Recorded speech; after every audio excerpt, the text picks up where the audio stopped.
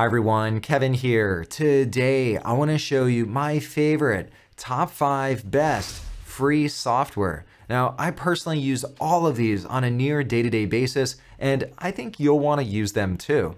If you want to jump around this video, feel free to use the timestamps down below. All right, let's check these out. This brings us to the first piece of free software, and that's Audacity. You can get it at audacityteam.org. I've also included links in the description down below, and I'll have links for all of the different software that I highlight today. So what is Audacity and why would you get it? Well, right here, it's free, open source, and also cross-platform audio software. So basically you can record audio and then you can also edit audio using Audacity. And it has tons of very powerful tools.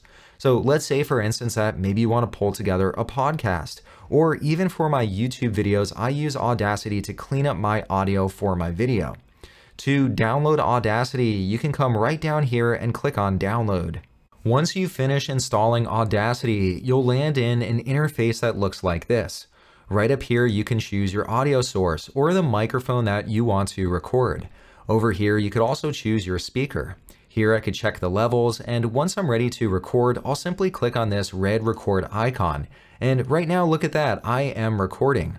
Once I'm all done, I can click on the stop icon and I could play it back to hear what it sounds like. Over on the right hand side, I have all sorts of different tools that I can use to manipulate the audio. I could even add additional tracks. Here, for instance, I'll click on tracks and let me add another track. So here I could add any number of audio tracks. I also have access to a massive collection of different effects. Here I could amplify my voice. I could also apply a compressor if I want to tighten up my audio a little bit. Maybe I want to hear what it sounds like if, let's say I were in a cave. I could apply some echo.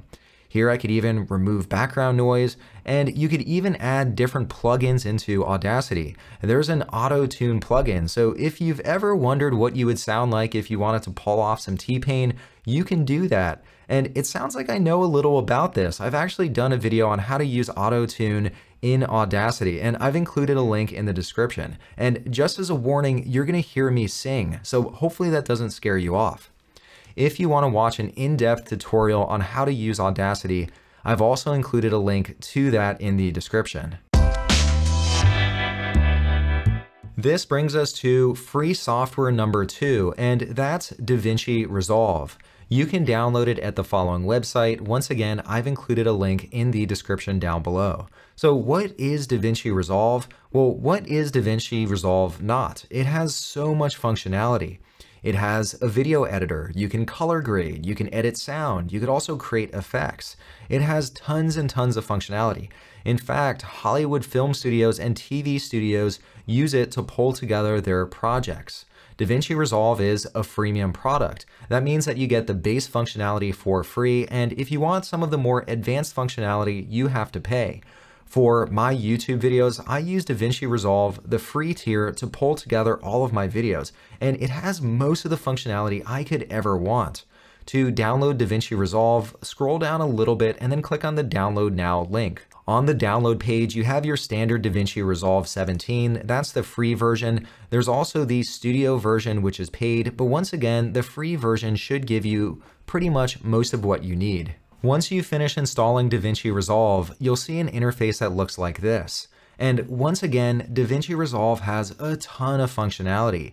Here, for instance, I'm in a media page that allows me to manage all of my different media files. Here, there's a dedicated cutting view, which makes it really efficient to cut your various clips. There's also an editing view, and this is where you start to pull together your story. And you have lots of different tools here. It makes it really easy to pull together your storyline and to deliver and communicate your message.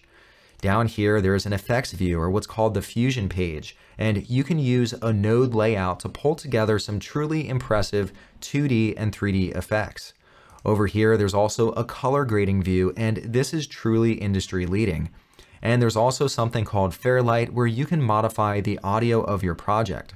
Once you're all done, you can render your project on this final page.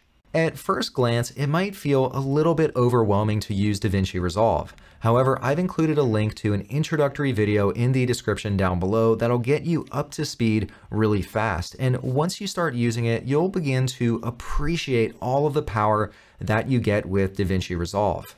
As one downside, DaVinci Resolve requires a pretty powerful system, and if maybe your computer is a little older or it's unable to run DaVinci Resolve, I've also included a link to a video in the description that goes through all of the different options for free video editors, and some of them can work on any type of system.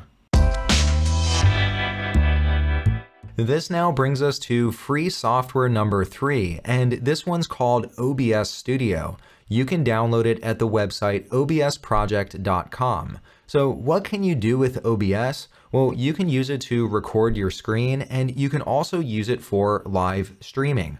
On my YouTube channel for my intro where I appear in front of the camera, I use OBS to record my camera. And also for this screen recording that you're watching right now, I also use OBS for that. Right here, you can install it on any platform. Once you finish installing OBS, you'll see a screen that looks like this. And yes, I'm using OBS to record OBS. It's possible. Within OBS, at first glance, it might look a little bit complicated. And over here on the left-hand side, you can set up various scenes. And within a scene, you can add different sources. So right here, I have my browser window as one source, and I have my video as another source. I could click on this plus icon, and you can add all sorts of different sources to compose your scene. You could also add all sorts of different effects and filters. You could set your different audio levels. You could set scene transitions. And once you're ready to record, you could click on start recording or you could stream to any one of the most popular services. Let's say you want to go out to Twitch, Facebook, YouTube. You can do all of that through OBS. Now, there's a ton of functionality within OBS, and of course, within this video, I won't be able to cover it all, but if you're interested in learning more about OBS and you want to go deep on how to use it, I've included an introductory video in the description. This brings us to free software number four, and this one is called the VLC Media Player. You can download it at the following website. So what's so good about VLC and why do I recommend it? Well, the great thing is you can pretty much open up any type of video file. In fact, anytime I get a video file, if let's say I try the Windows Media Player, sometimes it won't work properly, but anytime I try VLC, it's pretty much guaranteed to always open up properly. To download, simply click on this download text. Once you finish installing the VLC Media Player and you open up a file, you'll see an interface that looks like this and it looks a little bit more old-fashioned, but don't let that deceive you. There are tons of different capabilities in here, all sorts of different effects, all sorts of different filters. One of my favorites is I have an ultra widescreen monitor, and a lot of times you'll play, let's say a DVD, and they add the black lines on the top and the bottom. Well, you can crop those out using VLC. Or let's say you have a media file and you want to convert the type. You could even click over here and then you can convert from one file type to another file type. So although it's a media player, it has a lot of functionality above and beyond your typical media player.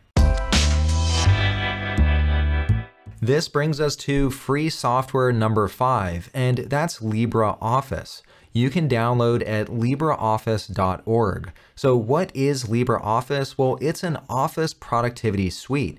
You get a whole bunch of different applications that'll help you be more productive.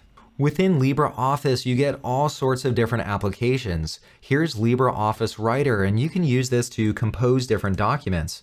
There's also a spreadsheet application called Calc. You could also pull together presentations using something called Impress.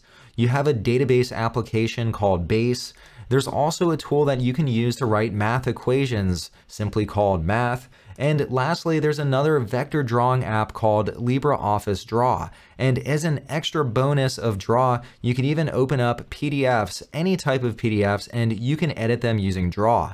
So with LibreOffice, you get a ton of value and you get a bunch of different applications that allow you to be more productive. That wraps up my favorite top five free software, but there is one more that I use all the time that I wanted to share with you, and this one is called Paint.net. And although it's called paint.net, you download it at the website getpaint.net. Once you land on the homepage, you can download it right here. And this is a simple but yet still powerful image editing application. Once you finish installing, you'll land in an interface that looks like this. And the thing that I like about Paint.net is it has most of the image editing tools that you would ever need. Of course, you have applications like Adobe Photoshop. You also have GIMP as another free alternative. But personally, I think those are a little overwhelming where they have far more functionality than you would ever need. Here in Paint.net, it pretty much offers everything that I need. You have all of your standard image manipulating tools. Here you could choose different colors, you have history, and you could even use different layers. On my YouTube channel, I use Paint.net all the time to pull together my thumbnails. Here, for instance, I'll pull in a photo of myself that I would typically include on the side of one of my thumbnails, and I take all of these photos in front of a green screen. Just as an example of what you could do with Paint.net, right up here I can go up to Effects. I'll go down to photo and right here there's the option to apply a simple green screen. When I click on that, that'll simply remove the green background from this photo. That's just one of the many different effects that I could use to manipulate what photos look like. One of the great things too is you can add all sorts of different plugins which extend the power and the capabilities of Paint.net. All right, well, let me know down below in the comments, do you already use any of these applications? To see more videos like this, please consider subscribing. All right, I'll see you next time.